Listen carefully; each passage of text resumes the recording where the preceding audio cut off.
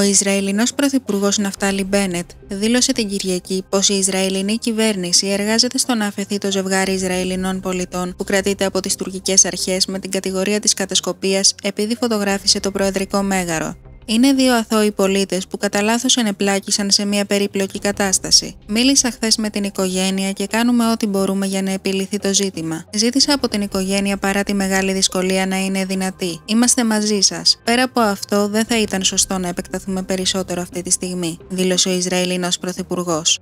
Οι τουρκικές αρχές συνέλαβαν την Πέμπτη την Άταλη και τον Μόρντι Οκνίν, κατηγορώντας τους για κατασκοπία με αφορμή ότι φωτογράφησαν το Προεδρικό Μέγαρο. Το ζευγάρι και η οικογένειά του επιμένουν πως δεν γνώριζαν ότι αυτό ήταν παράνομο.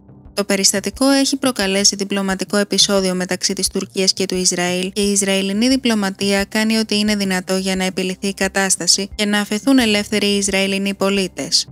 Σε μια κίνηση που ενδέχεται να συνδέεται με το εν λόγω περιστατικό, το Εθνικό Συμβούλιο Ασφαλείας του Ισραήλ ανανέωσε την ταξιδιωτική προειδοποίησή του για την Τουρκία, επισημένοντας πως υπάρχει κίνδυνος για τους Ισραηλινούς πολίτες. Την ανακοίνωση ζητείται από τους πολίτες του Ισραήλ να αποφεύγουν να ταξιδεύουν στην Τουρκία και όσοι βρίσκονται εκεί να αποφεύγουν τα τουριστικά σημεία, να δίνουν μεγάλη προσοχή στις οδηγίες των αρχών και των μέσων ενημέρωσης και να φύγουν από τη χώρα το συντομότερο δυνατό. Επίσης, ζητά όσοι Ισραηλινοί έχουν συγγενείς που βρίσκονται στην Τουρκία να επικοινωνήσουν άμεσα μαζί τους ώστε να τους ενημερώσουν σχετικά. Πείτε μας τη γνώμη σας στα σχόλια, κοινοποιήστε το βίντεο στους φίλους σας.